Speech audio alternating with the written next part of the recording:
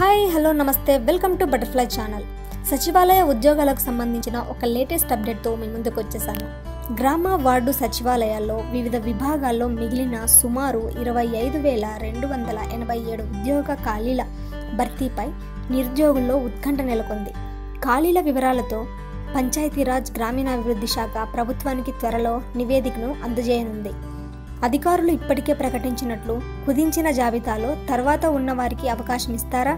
ప్రత్యేకంగా మరోసారి జనవరిలో ప్రకటన వెలువడుతుందా? అనేది చూడాల్సి ఉంది. ఈ నెల రెండు నుంచి రాష్ట్రంలో అమల్లోకి వచ్చిన గ్రామ వార్డు వ్యవస్థ కోసం వివిధ రకాలైన లక్షా ఇరవై ఆరు వేల ఏడు వందల ఇరవై ఎనిమిది ఉద్యోగాల భర్తీకి ప్రభుత్వ ప్రకటన విడుదల చేసింది. రాత పరీక్షకు హాజరైన ఇరవై ఒకటి పాయింట్ అరవై తొమ్మిది లక్షలకు పైగా అభ్యర్థుల్లో ఉత్తీర్ణులైన లక్ష ఒక వెయ్యి నాలుగు వందల నలభై ఒక్క మందికి ధృవీకరణ పత్రాలను జిల్లా ఎంపిక కమిటీ అంటే డిఎస్సి పరిశీలించి నియామక పత్రాలను ఇచ్చేసింది. విధులకు హాజరైన వారందరికీ విడతల వారీగా శిక్షణను కూడా ఇచ్చేస్తున్నారు.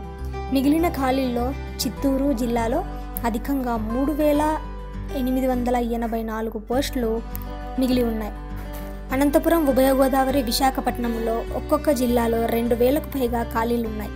ఉద్యోగ ఖాళీలపై ఇక నుంచి ఏటా జనవరిలో ప్రకటన వెలువడుతుందని ఈ నెల ఒకటి నుంచి విజయవాడలో సచివాలయ ఉద్యోగాలకు ఎంపికైన వారందరికీ నియామక ఉత్తర్వులు ఇచ్చిన సందర్భంగా ముఖ్యమంత్రి జగన్ గారు ప్రకటించారు.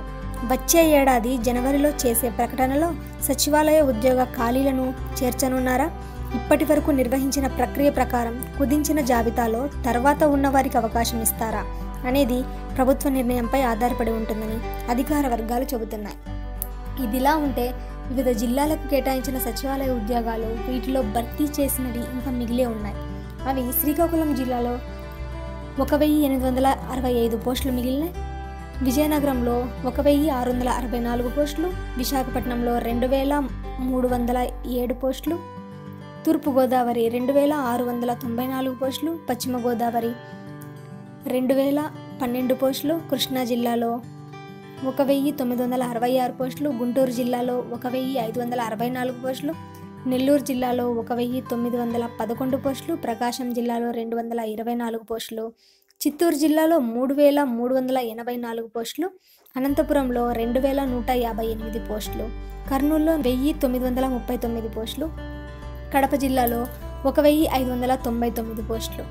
ఇదిలా ఉంటే మొత్తం మీద మన ఆంధ్రప్రదేశ్ మొత్తం మీద ఇరవై ఐదు వేల రెండు వందల ఎనభై ఐదు పోస్టులకు గాను మిగిలిన నోటిఫికేషన్ వెలువడుతుంది అని ఒక అంచనా. ఇదే ఇప్పటి వరకు అందిన అప్డేట్. ఈ వీడియో కనుక మీకు నచ్చినట్లయితే మీ ఫ్రెండ్స్ అందరికీ షేర్ చేయండి. ఇంకా అప్డేట్స్ కోసం మా ఛానల్ని సబ్స్క్రైబ్ చేయండి. లైక్ చేయడం మర్చిపోకండి. Thanks for watching this video. Thank you.